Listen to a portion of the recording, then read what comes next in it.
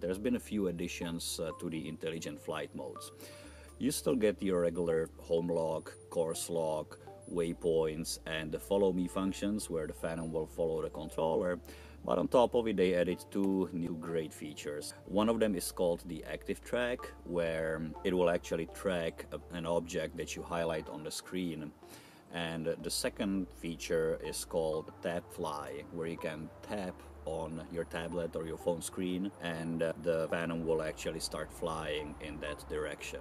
Before getting to the active track and tap fly function, I'd like to spend some time talking about the obstacle sensing technology. The obstacle sensing only works forward and below the copter, so it is still possible to fly into things backwards or sideways. The Phantom 4 is definitely not crash proof. The user gets to decide whether to allow the drone to fly backwards in the active track mode. This function also only works in the P mode and is available in intelligent flight modes and return to home. Depending on the situation, the drone decides whether to hover, fly over the obstacle or fly around it. When flying in normal mode, it always stops about 5 to 6 feet away from the obstacle. In intelligent flight modes, it will stop and hover in most cases, but will adjust the flight path to go over or around the obstacle if it can find a safe way.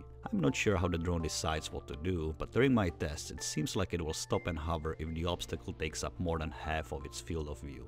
I tried sending the Phantom into bushes, into my car, or even into myself, and through the tree line a few times and it was always able to detect the obstacle and stop or avoid. However, in most cases it got much closer to the obstacle than I was comfortable with.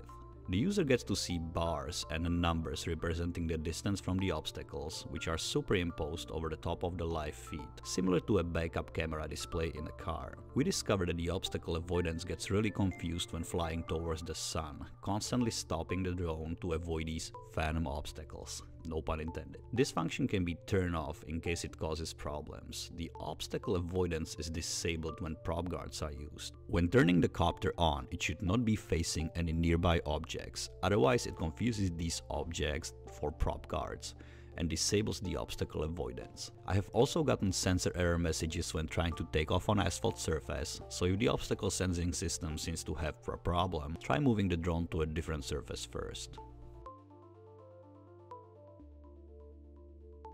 The active track allows the user to track objects by selecting them on the screen. You can simply point the camera on the subject you'd like to be tracked and select it by either pressing on or dragging your finger diagonally across the subject on the screen. The latter method lets you define the area or object to be tracked more precisely.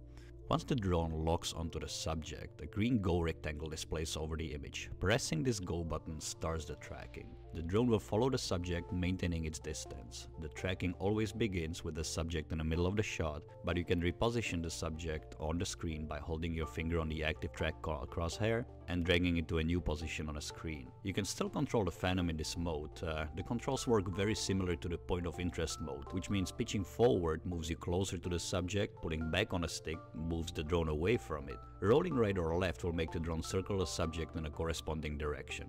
You can also change the altitude with throttle. The rudder yaw and uh, the camera tilt are controlled by the Phantom.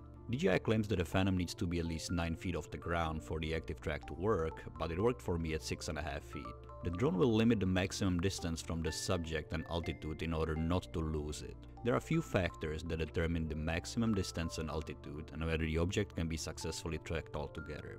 These factors are the size of the subject, the contrast between the subject and its surrounding environment, the light conditions, and presence of any similar objects in the frame. The Phantom is able to track a car from a larger distance than a person. It will have difficulties tracking a person in grey clothes walking over the asphalt parking lot. If your subject gets in front of or behind some object of similar size and color, the drone can get confused and offer begins to track this similar object. In few cases, the drone locked to another object further or closer to it, and began to abruptly fly towards or away from the tracked object in an attempt to keep at a constant distance. In one of these cases, it almost hit another phantom, in another one it almost flew itself backwards into a tree. My recommendation is to always keep your finger on the flight mode pause button. The object avoidance works with the active track, but will not protect the drone from flying into things backwards or sideways. The user gets to choose whether to allow the Phantom to fly backwards when tracking, which really depends on the situation and the user's comfort level. With the backwards tracking enabled, the Phantom will fly backwards if the subject is moving directly at the Phantom. Once the subject moves about 15 degrees to the right or left, the Phantom will slow down, move to the side, rotate around and get behind the subject. It is possible for the drone to lose the subject if it moves too fast or abruptly changes direction. You can also track stationary objects in a fashion similar to the point of interest mode.